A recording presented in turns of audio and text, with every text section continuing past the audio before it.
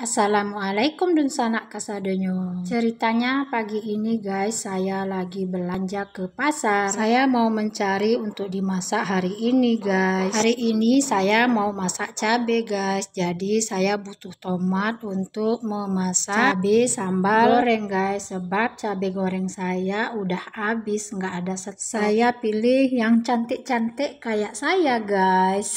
Nah, itu guys tomatnya. Tomatnya cantik-cantik semua loh. Pokoknya ikutin terus ya kegiatan saya pagi ini. Sebenarnya bingung guys, hari ini saya mau masak apa, tetapi kita beli stok untuk di kulkas ya guys. Nah, itu ada bawang putih.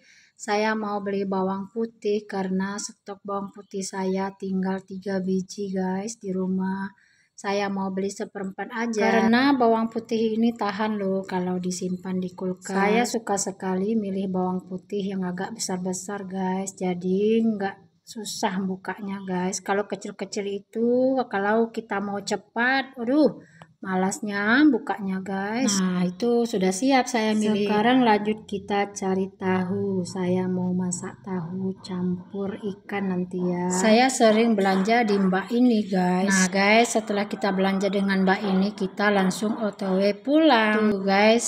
Suasana di pagi hari masih sepi ya. Karena pak suami saya sudah buka toko pagi-pagi jadi saya jalan aja langsung arah ke toko. Nah guys, udah dulu ya. Sampai di sini dulu. Assalamualaikum warahmatullahi